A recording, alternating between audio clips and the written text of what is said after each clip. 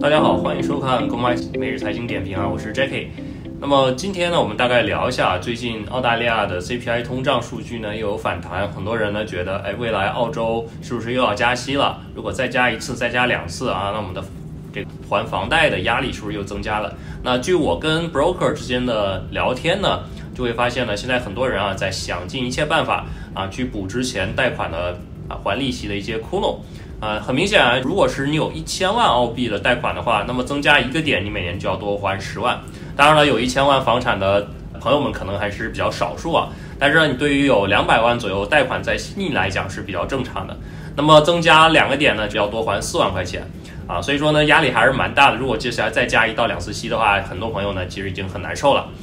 在我们来看的话，未来呢一直都有加一次息的可能性啊。那这个可能性呢，在目前 CPI 通胀数据走弱的情况下呢，又提高了。我们也看到澳元汇率呢对美金啊连续三次触底，但是呢美元呢依旧走强啊。所以说呢，如果是大家朋友们想要哎搏一下澳大利亚未来加息、央行加息的这个可能性，我建议大家呢就要做这个澳元人民币啊，而不是做澳元兑美金，因为呢美元强势啊，美元比目前比人民币要强，所以说呢。按照三个汇率货币对目前的走势情况来看的话，最强的是美金，是澳币，再就是人民币啊。因为我们知道中国呢，目前为了刺激经济，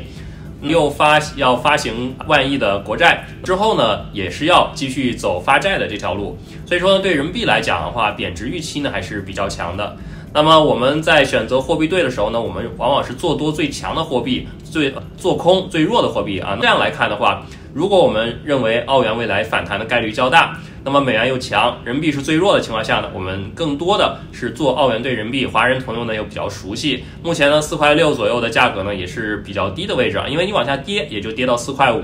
那目前呢我们给到的啊这样的一个价格参考比较中规中矩啊，比较